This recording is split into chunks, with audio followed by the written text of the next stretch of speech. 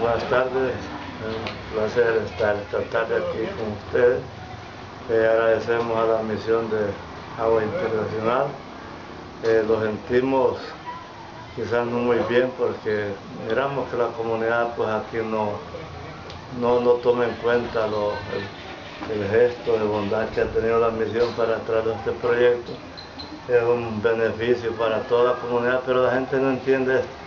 El cargo mío puede ser fiscal y como encargado de aquí de la directiva, pues no, no está en mí que esto se fuera de las manos. Pero si la gente no quiere acudir, pues quizás va a ser necesario que la levante. Como le digo, pues vamos a hacer lo último, ¿ah? y si ya en esta pues la gente ya no se concientiza, pues con dolor en el alma, pero tendrán que levantar la, la purificadora.